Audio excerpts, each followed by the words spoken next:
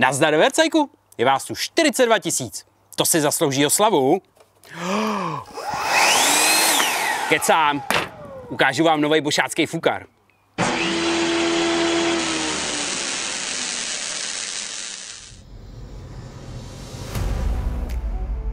Tak tohle je on, Bosch GBL 18V 750 Professional. Dlouho jsem na něj čekal. Vlastně když letos Bošáci odlaunchovali tu řadu zahradního nářadí na 18V baterky, tak tohle byl poslední kousek, eh, na který jsem čekal.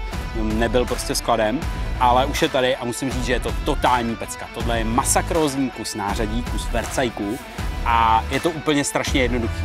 Takhle, jak to vidíte, respektive bez té baterky, to dostanete v balení. Není to nic jiného než to samotné tělo a tenhle nástavec. Tohle je všechno, co vám přijde. Eh, je to rozkladatelný čistě z toho důvodu, aby to bylo třeba líp skladný, když to někam převážíte, nebo prostě abyste to mohli někam uložit eh, ve, ve skladu nebo v dílně. Eh, je to zahradní fukar. Bošáci už vlastně jeden zahradní fukar mají, takový jakoby z předchozí generace, ale ten je mnohem, mnohem slabší. Ta 750 nevím přesně, co označuje, ale parametrově je tohle jako šílený monstrum. Eh, pro zajímavost to dokáže vlastně odsaď nasát, je tam axiální větrák, který tady nasává vzduch, takže když jako jedete a přisaje se vám to na tričko, tak to fakt cítíte. A tady fouká ven prostě vzduch. Eh, ten objem vzduchu, který tohle na maximum dokáže protáhnout, je 780 metrů krychlových za hodinu. Odsaď sem. 780 metrů krychlových za hodinu. A ta rychlost toho vlastně vzduchu, který odsaď letí ven, je téměř 200 km v hodině, což pro uh, milovníky jachtingu a tak, podle nějaký jejich uh, Bauferovy stupnice, nebo jak se jmenuje, tak znamená, že tady je regulérní orkán. Nad 118 km v hodině už je to označovaný jako orkán, tady je téměř 200. Není tady moc co vymýšlet, nahoře je vlastně regulační kolečko, kterým si ovládáte rychlost toho větráku, eh, dole spoušť není plynulá, prostě jenom si nastavíte tu rychlost, zmáčknete a jedete. Eh, ten samotný axiální větrák pohání bošácký biturbomotor a tohle je právě ta věc, kde potřebujete pořádní baterky.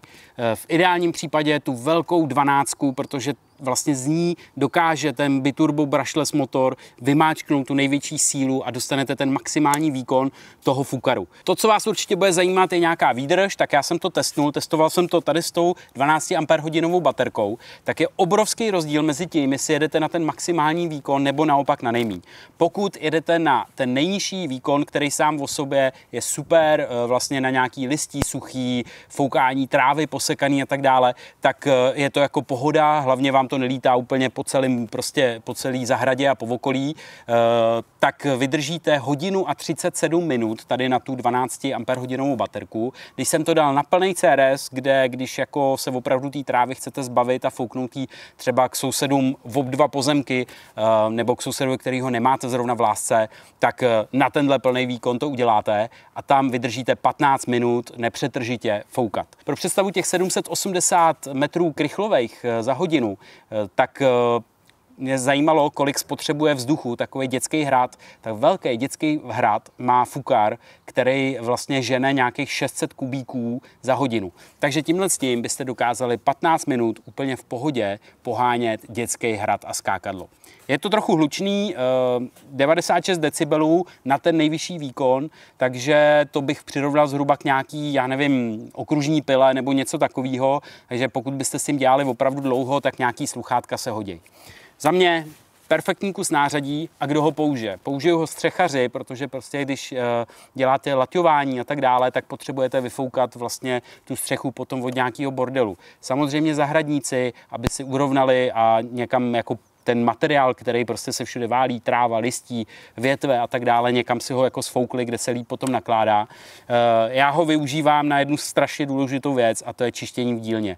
Eh, každá dílna, ať je sebe líp, eh, odvětraná nebo sebe líp vymyšlený to odsávání tam, tak nějaký prach tam vzniká po čase a já prostě jednou za měsíc, jednou za dva měsíce prostě vemu fukar, dřív jsem to dělal kompresorem, tam jsem limitovaný objemem té nádoby, tady to je mnohem lepší, protože prostě otevřete dveře a všechen ten prach ze světel, z trubek a tak vyfouknete ven.